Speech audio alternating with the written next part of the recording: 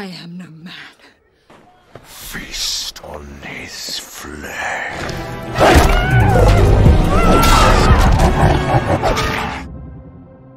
What's up, guys? It's your boy Benny. When somebody shows you who they are, believe them, and especially if it's a news site. That's why we try as hard as we can. If we say something that's not factually accurate, or if we if we had an opinion that turns out to be not true, we let go back and correct the record because it's really important that you get true information from the people you're listening to and the media sources that you trust. That is why I am uh, not surprised to give you this article from CNN, published directly in the wake of Dylan Murder suicide of the brand Bud Light. Bud Light's inclusive ad campaigns are good for business, experts say, published on April 13th, 2023, right in the, the heat of the moment with uh, the Dylan Mulvaney Bud Light boycott. CNN had the temerity to publish that this is a very good thing for Bud Light. The phrase go woke, go broke, employed by some conservatives on social media, suggests that brands which employ inclusive campaigns are angering a significant portion of their consumers. The material drops. But experts say that inclusive campaigns are, in fact, often lucrative. Really? Okay, how's that working out for you?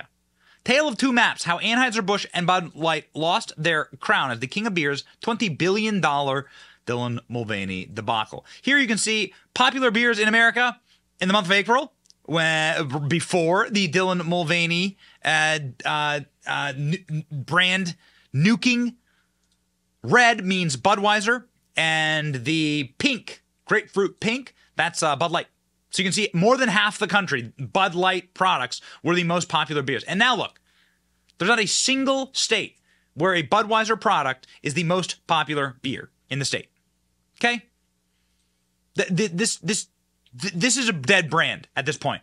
And so, in order to add insult to injury, CNN decided, a- after lying to its customers, decided to go and to film a video in Nashville going after Kid Rock's bar to see if Kid Rock's bar and the patrons around Nashville uh, were actually drinking Bud Light. My God, this is absolutely and completely beautiful. Check this out. A culture war is brewing over Bud Light, dividing beer drinkers as much as the country is itself. Unlike anything I'd ever seen. I don't give a if you drink Bud Light, Miller Lite, Coors Light, it doesn't matter. If you don't like what somebody's selling, just don't go there. Stop being butthurt about everything that goes on in the world. I celebrated my day 365 of womanhood. The brouhaha stems from Bud Light's short-lived partnership with transgender influencer Dylan Mulvaney. Love ya! The fury from the right, enough to dethrone Bud Light as the best selling beer in America for the first time in two decades. The controversy has taken center stage in Nashville, where two of country music's biggest stars, Garth Brooks and Kid Rock, have bars just steps away from each other on Broadway. What's fascinating to me is that right here on Broadway in Nashville, Tennessee, the culture wars have come down to two big personalities in this town. It illustrates the way the whole country is responding to the transgender acceptance. Garth Brooks says he plans to carry the beer at his yet to open bar. I'm a bar owner now. Are we going to have the most popular beers in the thing? Yes. But I get it. Everybody's got their opinions. But inclusiveness is always going to be me. A block down Broadway, Kid Rock made his feelings known when he posted this video shooting up cases of Bud Light. Despite the online bravado and talk of a boycott, Bud Light was available when CNN stopped in recently. It is not clear if the ban had been lifted or if there ever had been one to begin with. Nashville marketing executive Bill Fletcher says the whole country seems to be engaging in the same heated conversation. With Kid Rock, you have this dark, angry, finger pointing, shooting a gun at a Bud Light can. And Garth Brooks is, is hey, I love everybody, and openness and acceptance.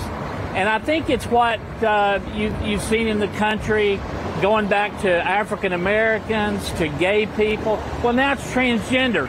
Here on Broadway, where fans from all around the world come to maybe listen to some music and drink some beer, this Bud Light controversy has left a bad taste in a lot of fans' mouths.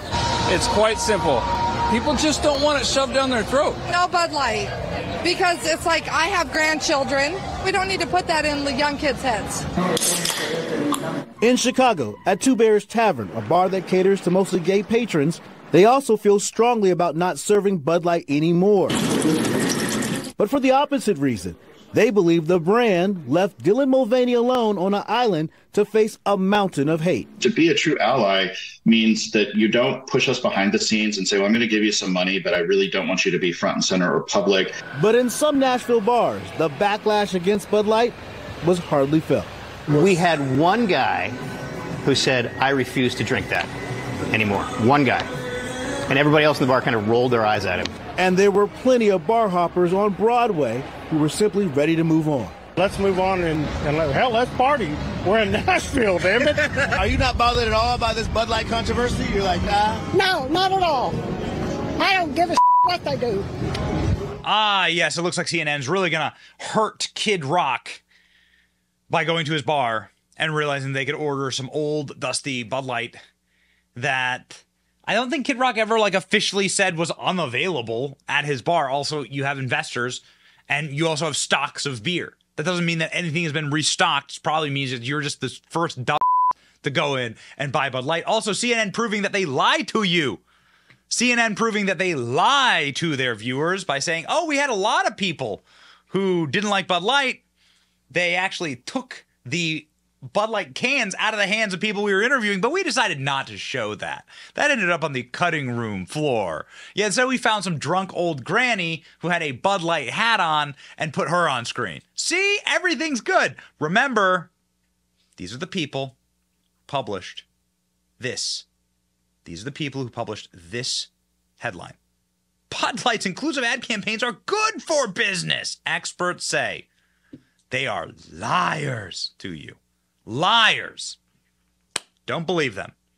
But it is very entertaining to see those like unbelievably little segments on CNN. Oh man. CNN, Communist News Network. If you don't like communists, you should like, share, and subscribe to our channel. That's how we defeat CNN, and it's how we are able to tell the real news, real truth, real facts. Like, for instance, Bud Light's failing brand that will probably not even exist in a year. Those are facts. It's your boy Benny. See ya.